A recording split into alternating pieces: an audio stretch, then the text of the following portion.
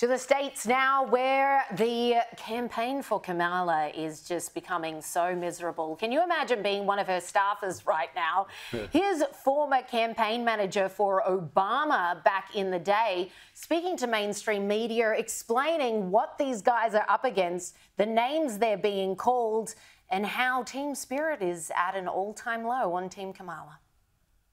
So there's really difficult decisions being made in Wilmington right now about what you do with her time, what you do with the surrogate's time. You know, there's competing things. The, the press team wants her on these TV interviews. The fundraising team wants her to do one more big event in X city. The battleground states are saying we've got to have her three more times in Michigan. And so, you know, making those decisions becomes the most important thing. It's why you see these campaign people on TV and they look absolutely exhausted mm-hmm. because everyone is telling them they're a band of idiots and they should do it their way.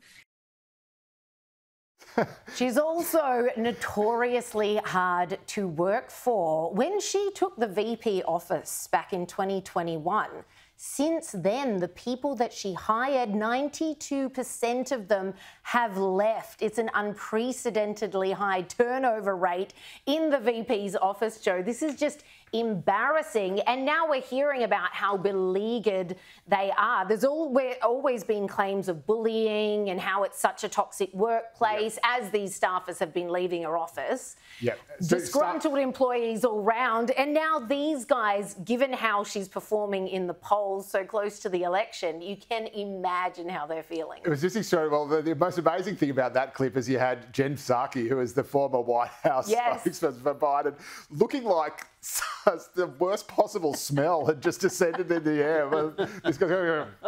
Talking about her beloved Dems in such a disparaging and, and that's, way. That's right, and I think she um, she probably would have had some knowledge of dealing with Kamala uh, mm. firsthand. Okay. I imagine I imagine it's a lot like the sitcom Veep, um, which is pretty much a documentary for anyone who's worked in it politics. Um, the best, you know, from you know having sort of reported on New South Wales politics in the sort of dying days of the last long-term Labor government there. You just the the biggest indicator of crisis is staff turnover, bar none.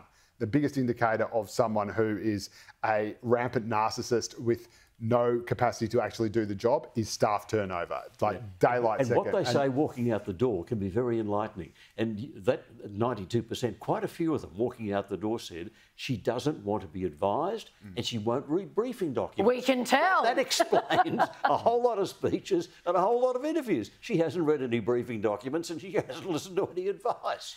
And we all know that she's absolutely terrible without an auto cue. And this was made painfully obvious at a town hall meeting recently, where we all know the point of a town hall is to get questions from the audience. It's a very one on one experience. People are supposed to feel like, oh, I'm getting to know this person. And they're so accessible. This is marvelous. Well, check out what the audience was told when one of them asked, when do we get to ask questions of Kamala?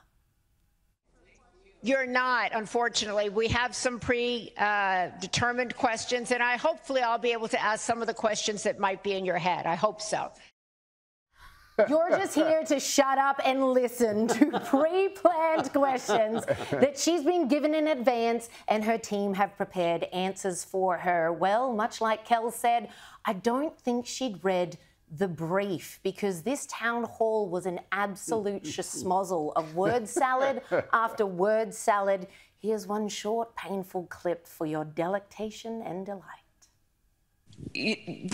we cannot despair. We cannot despair.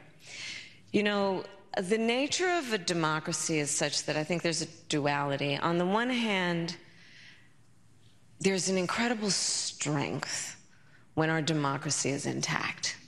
An incredible strength in what it does to protect the freedoms and rights of its people. Oh, there's great strength in that. And it is very fragile. It is only as strong as our willingness to fight for it. What are you saying? doing? What are you talking about? Do you even know, lady? This was so painful, Kel. I watched more than that, and I, I was spoilt for choice in picking a clip to play tonight to demonstrate just how bad she is when she's not reading off an auto cue. She's actually trying to do what are called platitudes. That is really nice sounding phrases that every like motherhood and apple pie and everyone will just nod their heads. Ah, yes, yes, yes, they're nice. So she's trying to do platyhoods, platypuds.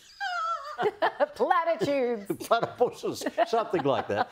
She's trying to say, come out with nice platitudes that everyone will agree with, but she mangles them. She can't make it coherent. The sentence starts over here, wanders up there, goes down there a bit, and then doesn't reach a conclusion. And it, it's so painful to watch Liz Cheney's face throughout this whole thing. She's just like, this right. woman would fail finger painting. That's I, right, that's I right. can't, I can't stomach this.